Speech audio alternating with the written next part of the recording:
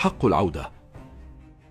هو حق الفلسطيني الذي طرد أو خرج من موطنه لأي سبب عام 1948 أو في أي وقت قبل أو بعد ذلك في العودة إلى الديار أو الأرض أو البيت الذي كان يعيش فيه حياة اعتيادية قبل عام 1948 هذا الحق ينطبق على كل فلسطيني سواء أكان رجلا أم امرأة.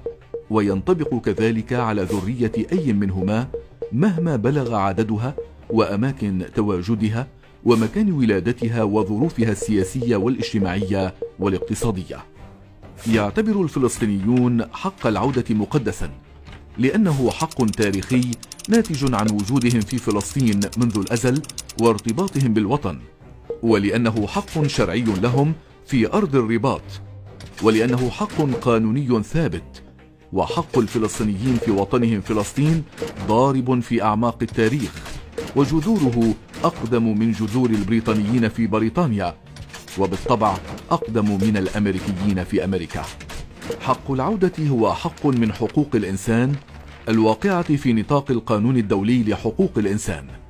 فهو بهذا المعنى حق مطلق غير قابل للتصرف من شخص لشخص آخر. وغير قابل للمفاوضة أو التنازل ولا تسقطه أي معاهدة أو اتفاق سياسي من أي نوع حتى لو وقعت على ذلك جهات تمثل الفلسطينيين.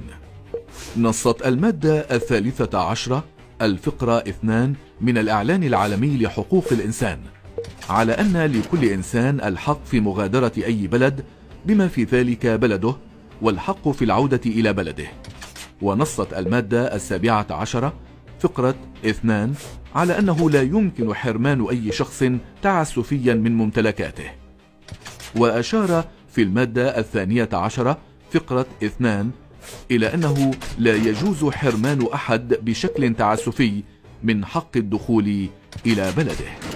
تنص المادة 49 من معاهدة جنيف الرابعة يمنع الترحيل الفردي أو الجماعي وكذلك طرد الأشخاص المحليين بموجب المعاهدة من الأراضي المحتلة لأراضي القوة المحتلة أو لأراضي أي دولة أخرى سواء أكانت تحت الاحتلال أم لا بغض النظر عن دوافع هذه الأفعال.